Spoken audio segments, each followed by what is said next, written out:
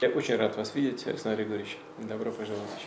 Ну, я надеюсь, нам удастся хоть немножко времени провести вместе, отдохнуть после сегодняшних э, рабочих часов. Хочу пригласить вас прокатиться на лыжах.